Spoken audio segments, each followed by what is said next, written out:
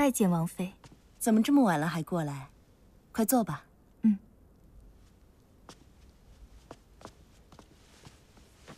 臣妾有件事儿想求王妃成全。什么事啊？这么郑重其事的。臣妾娘家的姐姐除了苏玉莹，还有个不同母的妹妹。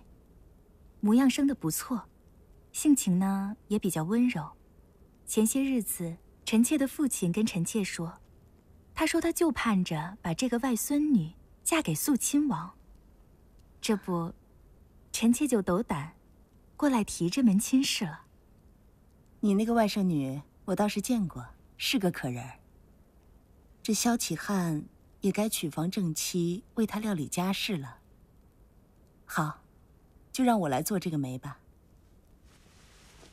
谢谢王妃，快坐下。都是自家人，这么客气干嘛？”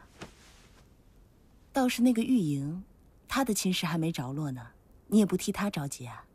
我怎么不着急啊？只是这个孩子，他成天魂不守舍的，一时喜一时恼，这我也不知道他怎么回事。他整日在你跟前，他的心事，你总该略知一二吧？前些日子，不知道因为什么。跟酒店下怄了气，回来摔了一屋子东西，吓得丫头们都不敢吭声。这我也不知道是怎么回事儿啊。莫非他的心思是在酒店下身上？好像就是这样。要不我看王妃好事成双，替苏玉莹也应了这门亲事吧。我想起啊。前些日子，我跟九殿下提起过成亲的事，可他斩钉截铁的让我提都别提。我想，你还是帮玉莹另外留意着吧，免得把她耽误了。况且，就玉莹的性子，我看未必跟九殿下对盘儿。这样啊，那就另外再帮她留意吧。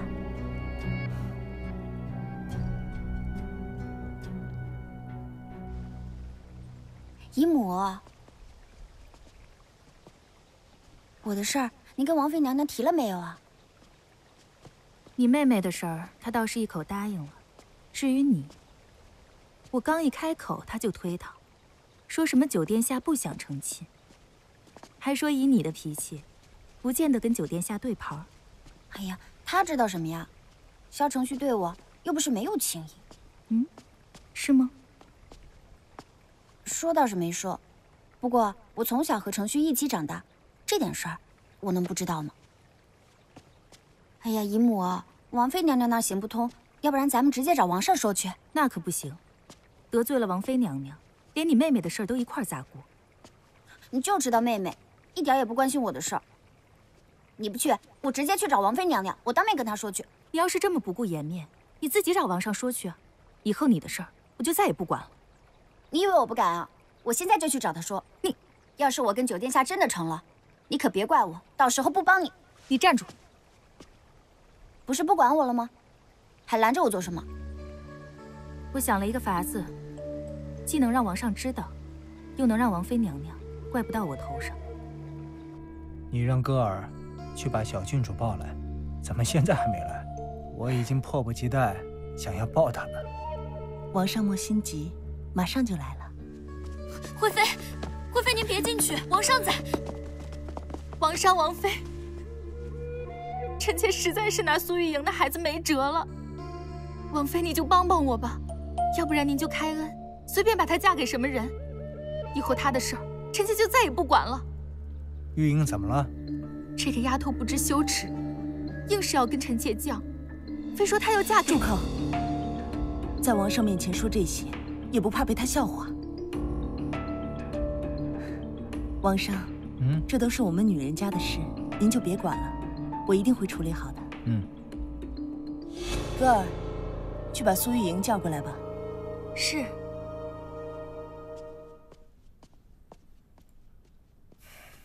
那好，你们聊。嗯。王上开恩。臣妾是一时心急才乱了分寸。要是您拿出去当笑话讲，要是让燕王殿下知道了，那可就……程旭，这件事跟程旭还有关。王上，您有事的话就去忙好了，这里我来问就好。不妨事。来，起来，慢慢说给我听。臣妾还是不说了，臣妾怕王妃怪罪。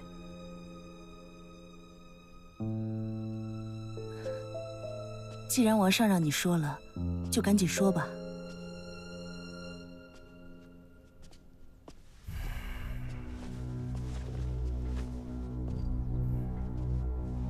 那日王妃问臣妾：“莫非这苏玉莹真的一心扑在燕王殿下身上？”臣妾不放心，就回去问了她。没想到这丫头一口承认了。臣妾好心说了她几句。她竟然绞了把头发立誓说：“她说，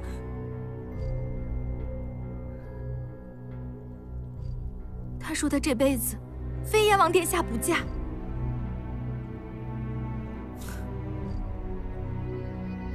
程旭和玉莹，莫非私下有终身之约？这我也不太清楚啊。玉莹郡主到。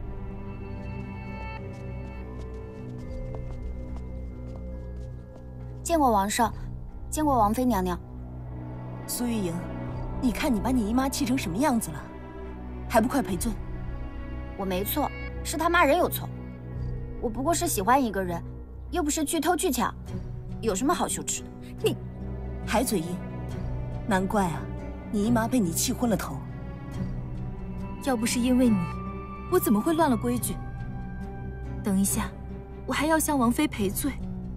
算了。这件事，错不在你，也情有可原。谢王妃开恩。苏玉莹，你倒挺有胆识啊！王上，你可千万别生我气。我这个人直来直去，有什么说什么，不像有的人，扭扭捏捏的。那我倒问你，倘若我能让你如愿？你又如何？玉莹这辈子最大的心愿就是希望能够嫁给九殿下。王上若是能让我如愿，王上的大恩大德，玉莹这辈子铭记在心。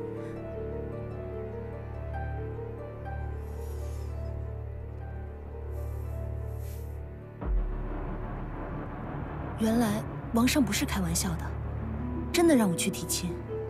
九弟早该成亲了。这不是一桩好事吗？这桩婚事有点难处，我不敢贸然去提。一方面，九弟说他不急着成家；另一方面，那苏玉莹是个拗脾气的，我看跟九弟合不来。我们还是别乱点这个鸳鸯谱了。可这桩婚事，我倒很想促成。为什么？我有我的用意。王上，若是不说清楚了，我怕做起事来会不合您的心意。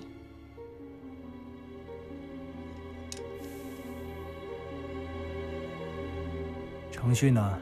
看情形，往后有很多地方我会重用于他。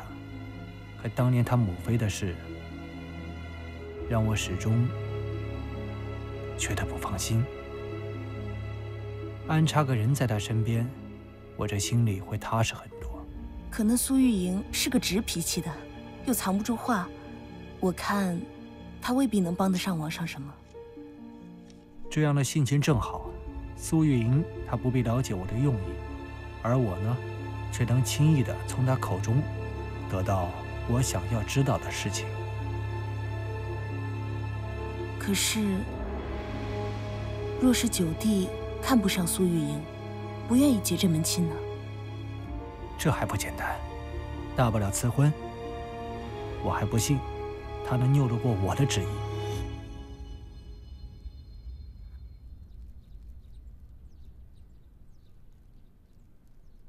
王妃娘娘到。九弟，三嫂，这里坐。我来看看你们两兄弟住的地方。这李亲王府的偏殿的确是小了些。我想啊，你们两兄弟也该到了成亲分府的年纪了。不委屈，三嫂，我这常年都在外头，不是练兵就是打仗，我住哪里都无所谓。可没有个亲近的人照顾你的生活起居，总是不太方便吧？你放心，三嫂，不碍事。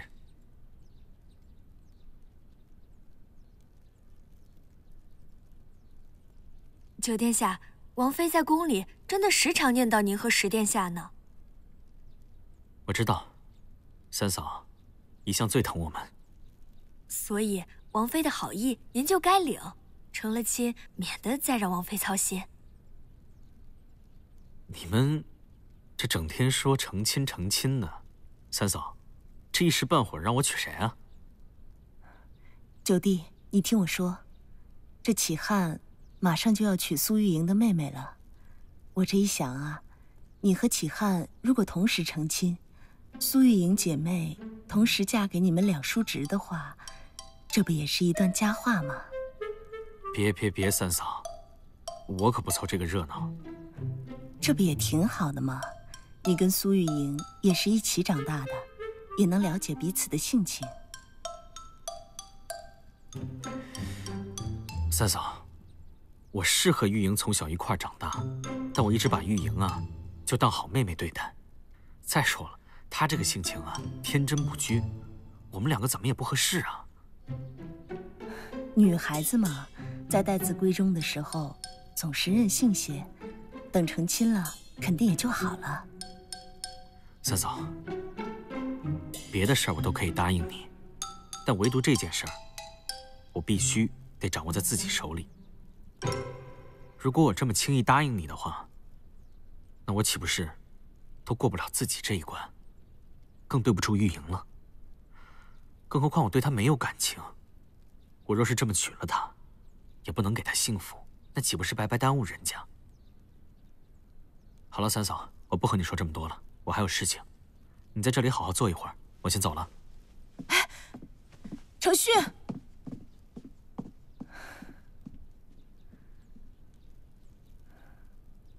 什么？让九殿下娶玉莹郡主？连你也知道这件事情难办。王妃恕罪，真儿，真儿只是感到意外而已。可这婚姻大事，总不能强求啊！毕竟，他们是要过一辈子的。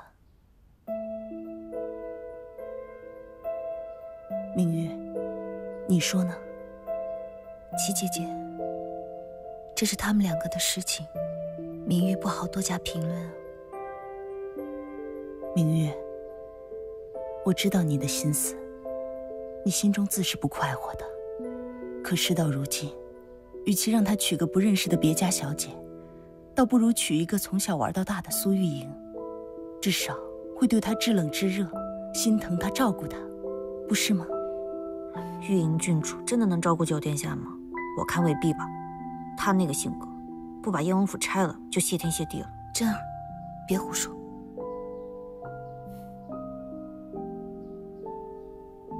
齐姐姐，既然你都已经决定好了。何必还来问我的意见呢？老实说，我是在程旭那边碰了个钉子。他一听是苏玉莹啊，就急忙说只是把她当妹妹看，说什么也不肯答应啊。既然如此，那也没办法呀。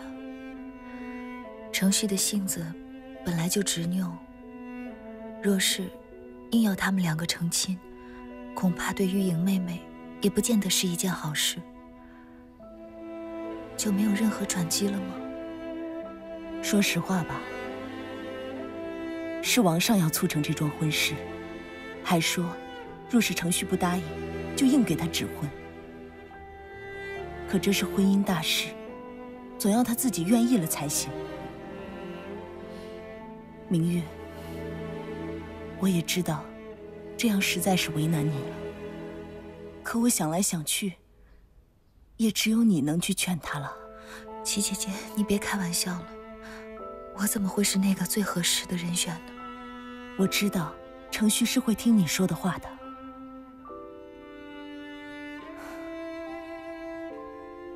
明玉啊，这过去的，终究已经过去了。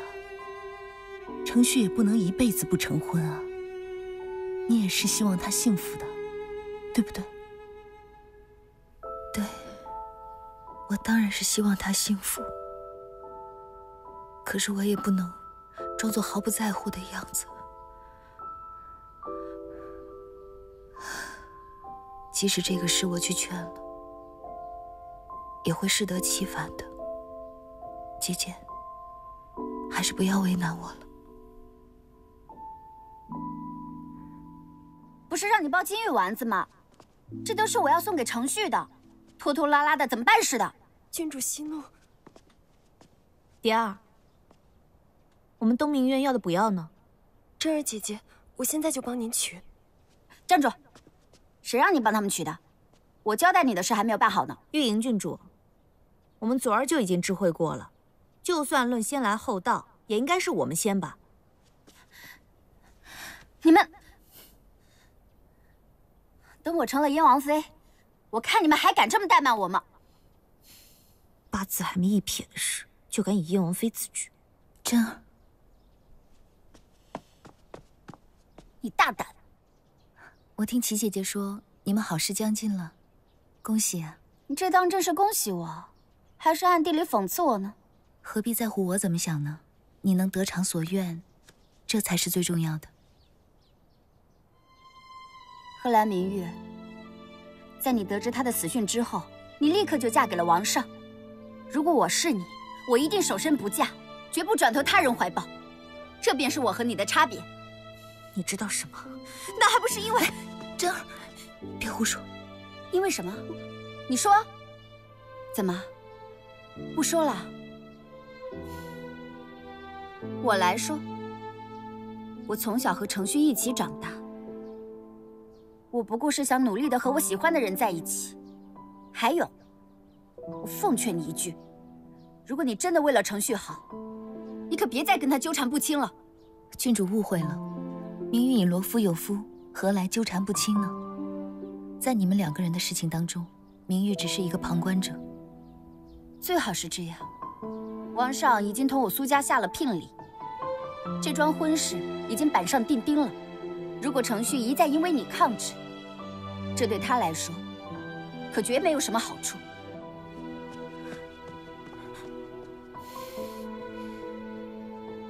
真希望燕王殿下千万不要答应他。恐怕这件事情由不得程旭了。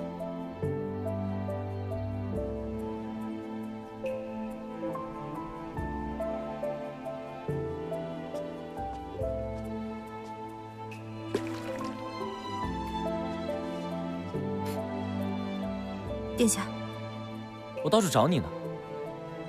找我，有什么事吗？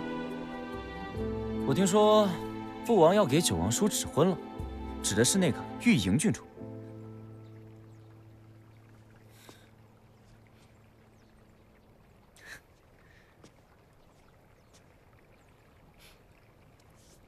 哎呦呦呦呦呦！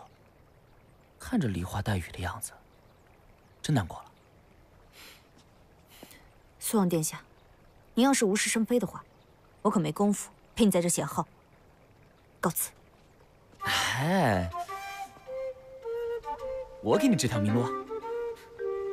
那你说说，你给我指条什么明路？王妃娘娘最近也开始张罗我的婚事了，我的正妃之位肯定是许不了你了，但是，我保准你做我的侧妃。很感动是吧？你要是答应啊，我现在就让我娘回头向你提亲。嗯，我谢谢你的好意。哎，你什么意思啊？哦，你是嫌做侧妃太低？可你又不是王亲国戚，你让我怎么跟我父王还有母亲说啊？用不着，我宁愿一辈子陪在我们家郡主身边，我也不稀罕做你的什么侧妃。如果是九王叔这么和你说呢？你也这么回答他吗？你别胡说。我胡说？我说错了吗？你看看你，这几日总是一副魂不守舍的样子，还不是因为九王叔要成亲了？就算九王叔不成亲，你以为会轮得到你啊？别做梦了。我用不着你可怜我，您还是多可怜可怜您自己吧。你，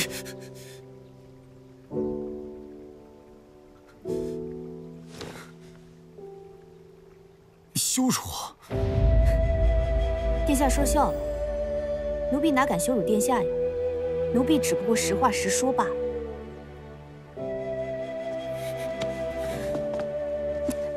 嬴政，我是王长子，我想要什么样的女人得不到？我纡尊降贵来和你谈，你拒绝我。林真儿是女官，不是谁的奴隶，我有我自己的自由，不会受任何人把控。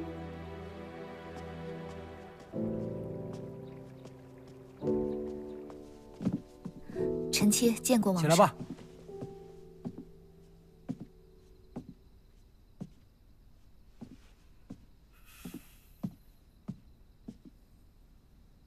皇上今儿看上去心情不好啊，被九弟给气着了。九殿下怎么了？我已经许下了他与苏家的这桩婚事，他却坚持不就。已经纳金纳采过了，他却始终不肯上门纳征。为了这件事，苏家今日闹上了承商殿，让我好一顿难堪。这个萧承旭，想要抬举他。怎么就这么难？王上，您消消气。还口口声声的跟我说，什么正妃之位，已经许给了心中真爱之人。我们王族子弟，谁的婚事不是由父君做主？他倒想得美，偏偏想找一个什么情投意合之人。这个九弟，在别的事情上一点就透。偏生在这件事情上跟我较上劲儿。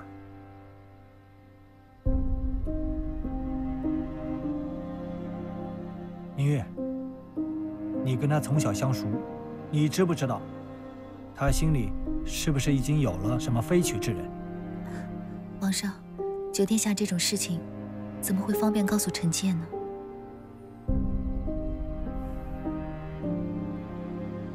你和他年纪相仿。以往也有些交情，你能不能帮我去劝劝他？啊，你就跟他说，我已经给足了他面子，希望他能够清楚，我金口玉言已经许出去了，断然没有反悔的道理，让他想明白王氏的脸面和他的自由到底孰轻孰重。程泰，他们说的对，若是连这种小事。都不肯听从于我，那么说明他心底还是没有驯服于我，那么他就不能用。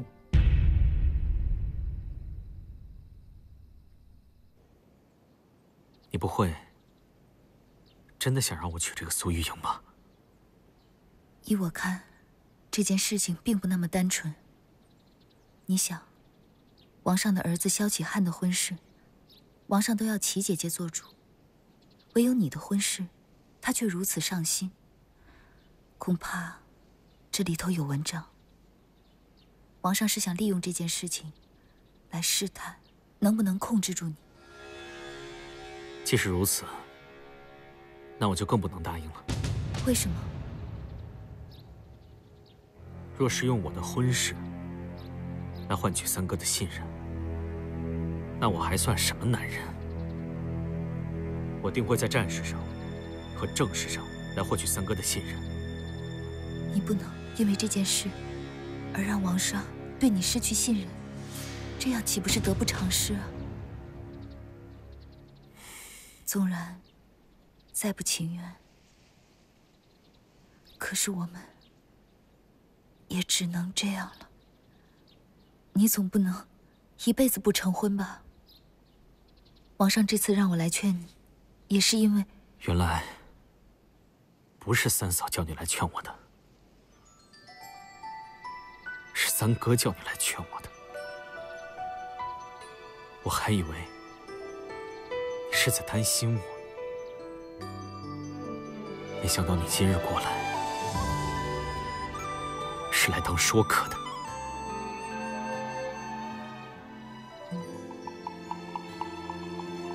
你让我放下，你就真的能放下吗？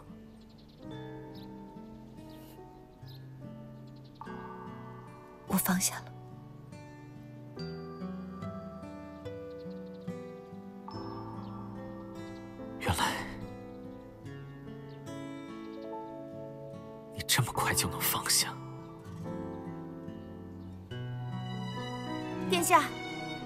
真的担心你。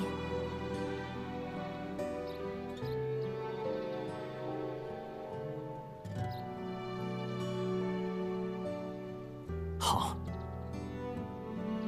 三嫂来劝我，我不肯；二哥、三哥来劝我，我也不肯。今日丽妃来当说客，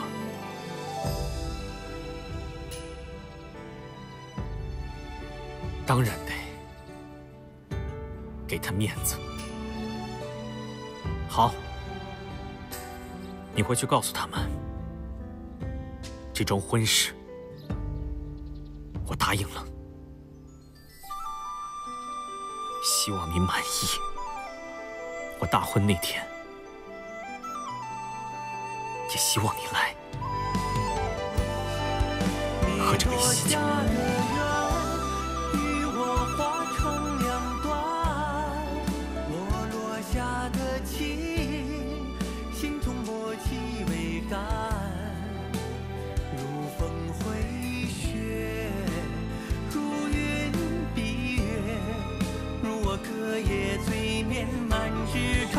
殿下。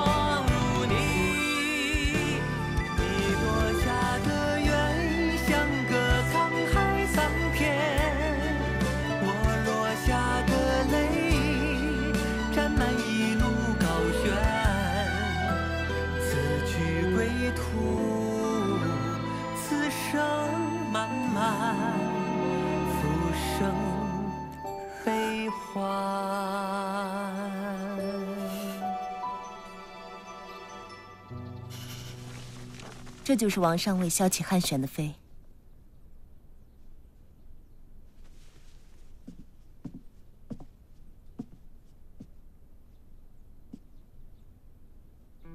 王妃，这是谁家的姑娘？这是乔惠妃的外甥女，也是苏玉莹的表姐妹。我的儿子，乔惠妃多什么事？弄一个外甥女来，是要抢走我的儿子吗？启汉是你自己生的，谁能抢得走啊？有了媳妇忘了娘这种事多着呢，以后有个媳妇牵着走，那不是要我的启汉向着他乔慧妃吗？你呀，未免也太多虑了。哪里是我多虑？为什么乔慧妃那么着急把一个外甥女嫁给燕王殿下，另一个嫁给我的启汉，还不是想把人都拉过去，为他所用？这个外甥女我倒是没见过，可是苏玉莹是什么脾气，我可清楚的很。若是我的媳妇像她这么没脸没皮，那可糟了。这种嚼舌根的话，不许你再说了。你要记得自己的身份。知道了，王妃。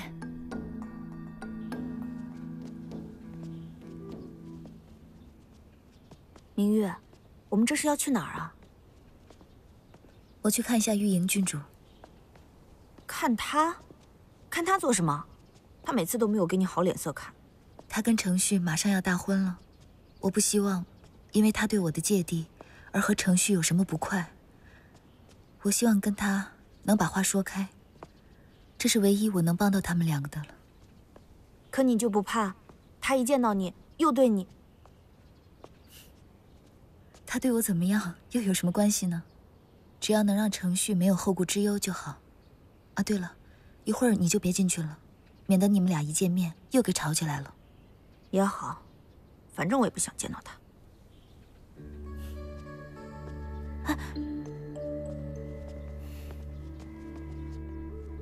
虽说这母以子贵，可这儿子也得子以母贵吧？只要我生下个小郡王，他就别想了。那你就算准了，王妃娘娘生不出郡王来。那这都过了这么多年了，他生的一个个的，不都是女儿吗？所以我跟你说的话，你要记清楚了。要是你亲表弟做了王上，你不也就……丽妃娘娘到。他来做什么？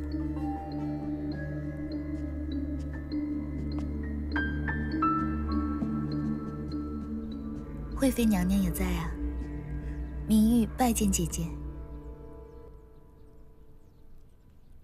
丽妃，你来做什么？我是来给妹妹道喜的呀。那你们先聊，我先走了。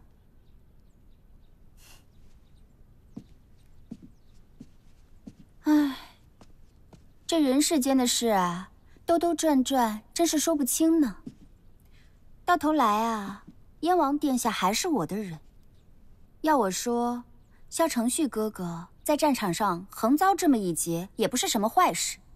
至少他能看清楚谁对他更好，谁能守得住啊。玉莹妹妹，我们也算从小一起长大的。我知道，过去我们年纪小，难免会有一些误会。不过，现在事过境迁了。你也知道，现在我们的身份都不同了，所以过去的事情就不要放在心上了。我当然知道时过境迁了。这过去吧，不过是有些人自作多情，让程旭哥哥一时迷了眼罢了。我有什么好放在心上的？我现在可是大圣王上钦点、明媒正娶的燕王妃了。那当然，等你和程旭成了亲，你就是他最重要的人，谁也越不过你的。那是自然。玉莹妹妹，我今天过来就是想跟你说，我和程旭以前。也只是熟人一些，现在有的也只是小时候的情分，别无其他，也不会再有其他。我是真心希望你们两个好好的在一起。我记得，齐姐姐，在我嫁给王上之前，跟我说了一番话，我现在就借着说给玉莹妹妹了。每个人都有每个人的品性，程旭他性子刚勇。心中有大志向，心思难免不会那么细。你呢，就多包容、多体谅他一些。我相信他不会亏待你的。到时候我们夫妻俩关起门来过日子，这些闺阁事情就不劳丽妃费心了。是我多虑了。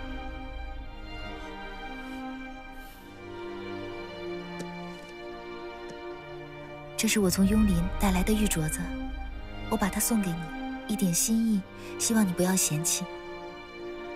这上面刻着百合花，预祝你和程旭百年好合。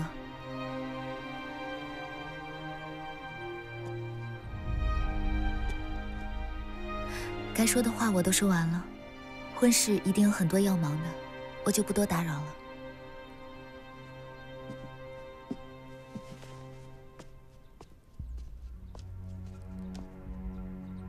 谁稀罕这个破镯子？敢到我门上来装好人，还跟我说什么萧承旭的性子？我对承旭，难道还比他了解的少吗？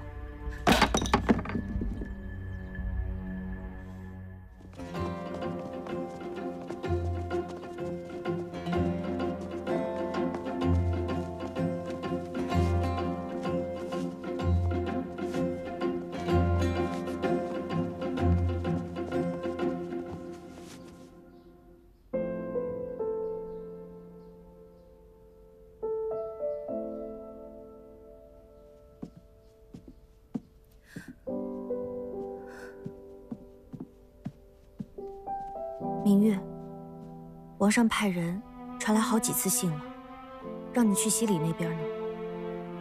你没有跟他们说我身子不适，免得冲了喜事就不去了吗？我说过了，可是明月，我知道你心里肯定不舒服。可你若是不去，恐怕王上那边不好交代啊。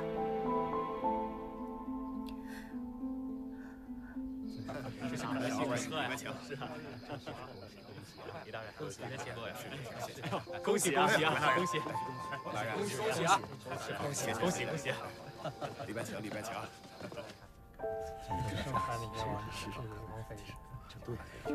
是天作之合，就是啊。新郎新娘到！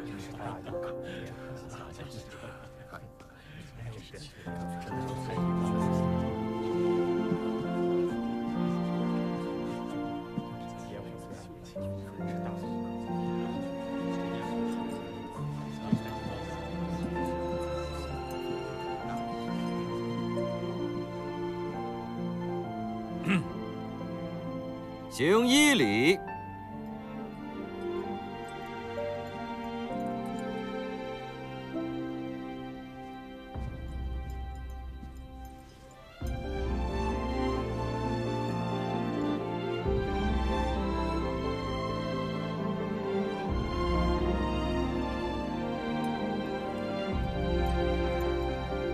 拜。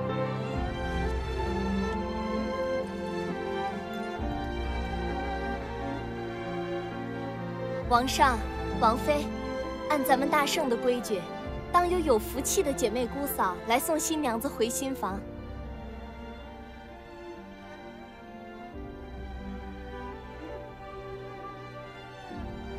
明月，你去吧。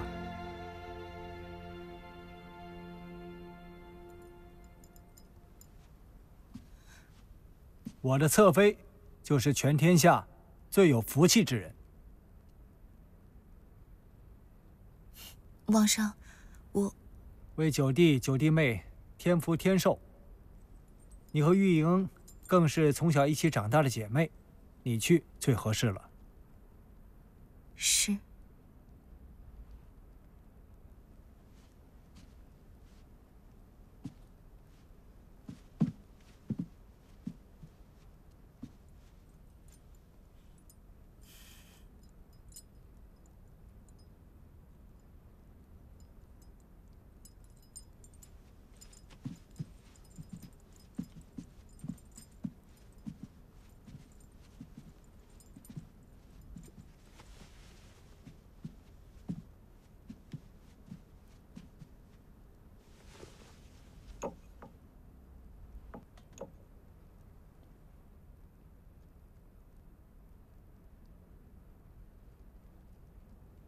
臣弟还未谢过王上的赐婚，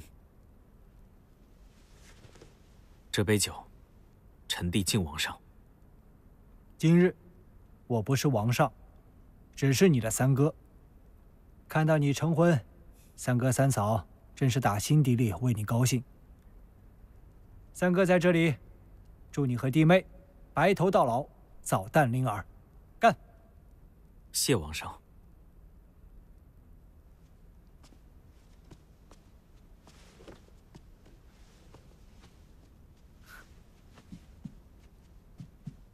明月，九弟，你还得敬丽妃一杯啊！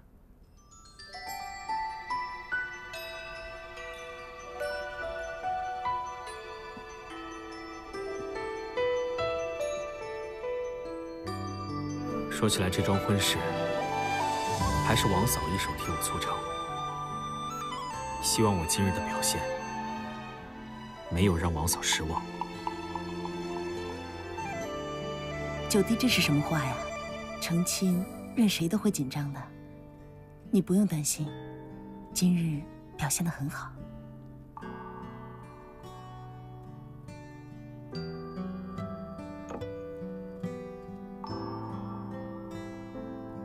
感谢王嫂替我促成这段良缘，臣弟敬王嫂一杯。祝燕王殿下新婚如意。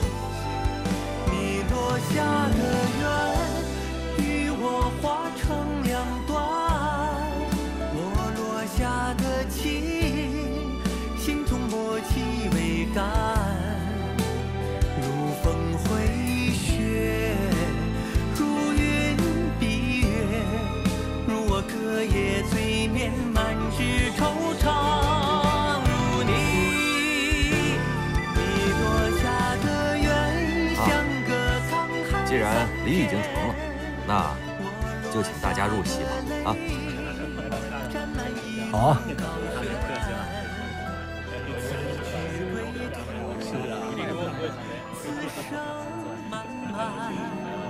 浮生悲欢。